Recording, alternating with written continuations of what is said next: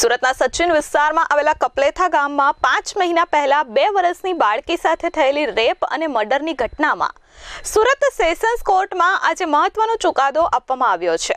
બળાત્કાર બાદ હત્યા કરનાર આરોપીને સુરત સેશન્સ કોર્ટે આરોપીને દોષિત જાહેર કર્યો છે. આવનારી બે ઓગસ્ટના રોજ સજા સંભળાવવાની તારીખ આપવામાં આવી છે. સુરતના સચિન વિસ્તારમાં આવેલા કપલેથા ગામમાં ગત સત્યાવીસ ફેબ્રુઆરીના રોજ ખૂબ જ હચમચાવી અને રૂવાટા ઊભા કરી દેતી ઘટના સામે આવી હતી.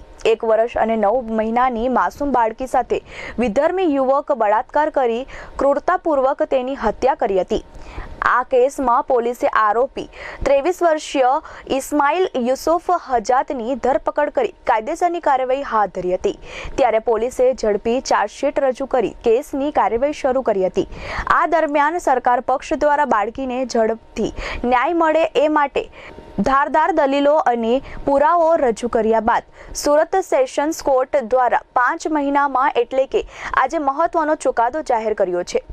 સુરત સેશન્સ કોર્ટ દ્વારા નરાધમ ઇસ્માઇલ યુસુફ હજાતને દોષિત જાહેર કર્યો છે અને સજાના એલાન માટે કોર્ટ દ્વારા બે ઓગસ્ટથી તારીખ જાહેર કરવામાં આવી છે. ત્યારે બે ઓગસ્ટે આ કેસમાં સંભવિત સજાનું એલાન થઈ શકે છે. સત્યાવીસ ફેબ્રુઆરી બે હજાર ત્રેવીસના રોજ સચિન મુકામે કપલેઠા ગામમાં એક દુઃખદ ઘટના બની, જેમાં એક વર્ષ અને નવ માસની નાની બાળકી ઉપર આરોપી ઇસ્માઇલ યુસુફ.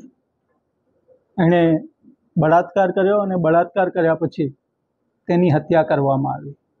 એટલું જ નહીં, એ બાળકીને શારીરિક રીતે પણ ગંભીર ઈજાઓ પહોંચાડવામાં આવી અને દાંતથી ડૂટીના ભાગે વગેરે કરડવામાં આવ્યું હતું. ત્યાર પછી એ બાળકીની લાશ એકાંતમાં ત્યજી અને ત્યાંથી ભાગી ગયો.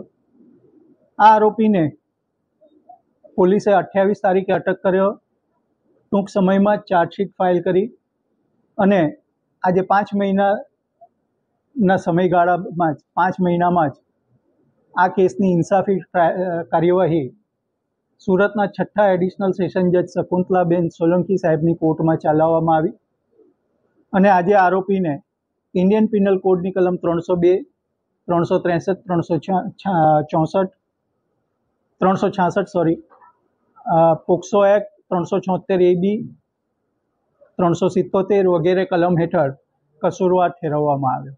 સરકારી વકીલ નયન સુખડવાલાએ જણાવ્યું હતું કે, સત્યાવીસ ફેબ્રુઆરી બે હજાર ત્રેવીસના રોજ સચિનના કપલેતા ગામે એક વર્ષ અને નવ મહિનાની બાળકી પર આરોપી ઇસ્માઇલ ઉર્ફે યુસુફ સલીમ હજાતે દુષ્કર્મ આચર્યો હતો. દુષ્કર્મ બાદ હત્યા તેની કરી હતી. એટલું જ નહીં, બાળકીના શરીરના ભાગે ઈજા પહોંચાડી હતી. તેમજ તેના પેટના ભાગે બચકા ભરી ઈજા પણ પહોંચાડવામાં આવી હતી. આ કૃત્ય બાદ આરોપી બાળકીને લાશને ફેંકીને ભાગી ગયો હતો. પોલીસે આરોપીની અઠ્યાવીસ ફેબ્રુઆરીના રોજ ઝડપી પાડ્યો હતો. આ કેસમાં ટૂંક સમયમાં જ ચાર્જશીટ ફાઇલ કરવામાં આવી હતી. આ બનાવના પાંચ મહિનામાં જ આ કેસની ન્યાયિક કાર્યવાહી સુરતના છઠ્ઠા એડિશનલ સેશન જજ સંકુતલાબેન સોલંકી સાહેબને કોર્ટમાં ચલાવવામાં આવી હતી. ત્યારે આજે આરોપીને ઇન્ડિયન પિનલ કોડ કલમ ત્રણસો બે, ત્રણસો ત્રેસઠ, ત્રણસો ને છાસઠ, પોસ્કો એક્ટ ત્રણસો છોતેર એબી ત્રણસો ને સિત્તોતેર વગેરે કલમ હેઠળ દોષિત જાહેર કરાયો છે. આરોપીને દોષિત જાહેર થયા બાદ સજા અંગે આજે દલીલો કરવામાં આવી હતી, જેમાં આ કેસને રેસ્ટ ઓફ ધ રેરર ગણવામાં આવે છે. જેથી આરોપીને મહત્તમમાં મહત્તમ ફાંસીની સજા થાય એની માંગણી સરકારી વકીલ દ્વારા કરવામાં આવી છે. કસૂરવાર ઠેરવ્યા પછી જે આરોપીને કેટલી સજા કરવી તેનો તબક્કો હોય તો એની દલીલ આજે બપોર પછી કરવામાં આવી.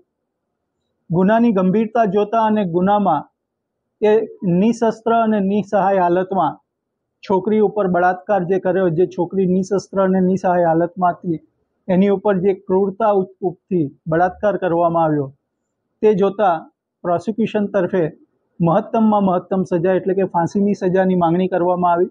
Bureau report, S twenty four news Surat.